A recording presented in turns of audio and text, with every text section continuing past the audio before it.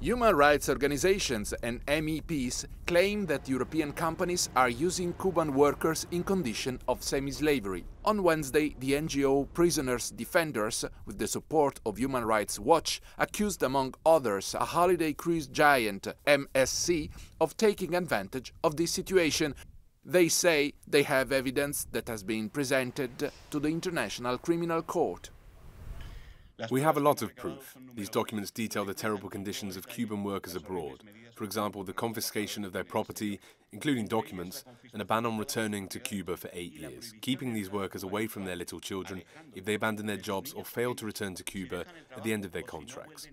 But we also have Cuban legislation which confirms this. We also have work certificates from Selecmark that gives Cuban workers for luxury cruises and withholds 80% of the workers' wages, and we also have certificates from the Cuban Ministry of Interior proving these allegations. All this is ratified by more than 1,111 complaints. Euronews has tried to bring the accusations to the attention of MSC, but has so far not received a response.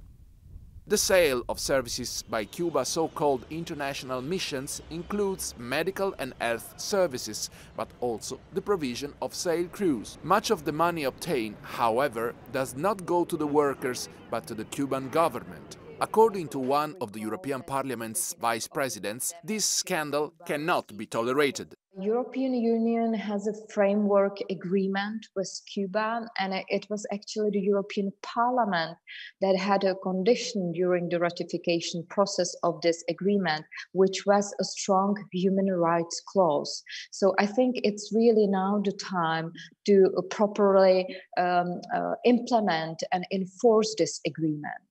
Uh, and also, I think that these cases uh, uh, demonstrates the urgency for the European Union to have a ban on forced labor. The income international Cuban missions generate is the main source of revenue for the Cuban government abroad since at least 2005.